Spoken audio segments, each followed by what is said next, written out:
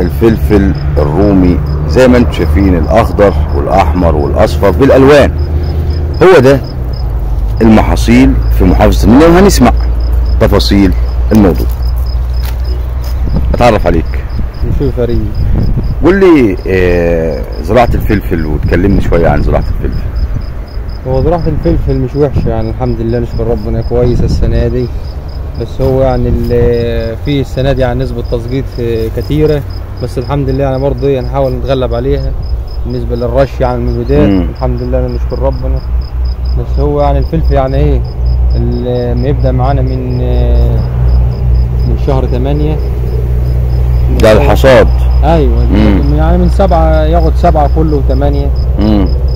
بس والحمد لله هو كويس. الفدان يجيب كام هو ما يجمع كل حوالي 12 يوم 13 يوم. طيب في ال- الجامعة يعمل كام الفدان؟ يعمل له من طن لطن ونص. من طن لطن ونص. أيوه. هو بداية زراعته إمتى طيب؟ بداية زراعته ما يبدأ معانا من يعني نص خمسة أول ستة. تزرع في نص خمسة أول ستة؟ مثلا. تبدأ حصاد في شهر ثمانية أيوه وممكن في أول سبعة حسب الأرض برضه يعني. كل الأرض. ي- يتم جمعه كام جامعة؟ يعني كم يعني كم ت- تجمع فيه ال- حوالي 10 مرات. عشر مرات يتم حصاد الفلفل فيها. أيوه. تمام. طيب آه، ال- الفلفل ليه طريقة معينة في الزراعة؟ طبعا أيوه. لازم يبقى في سرايب زي كده أهوت مساطب عشان إحنا وإحنا بننجي نمشي على المسطبة دي. يعني لازم يتزرع على مساطب أيوه.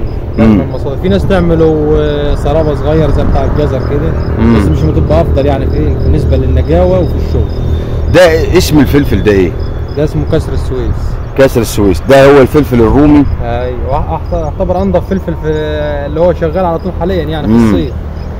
يتجمع 12 جامعة أيوه 12 جامعه 10 جامعات حاجة زي ال- المرة الواحدة كده. الفدان من طن لطن ونص. أيوه طب قول لي آه، سعره كام سعره حلو يعني مرضي للمزارع؟ حلو كويس. هو بالنسبة للغلا يعني في معاك لحد 5 جنيه بس برضه بيغطي مصاريفه برضه بالعافية عشان برضه كل حاجة مم. غاليه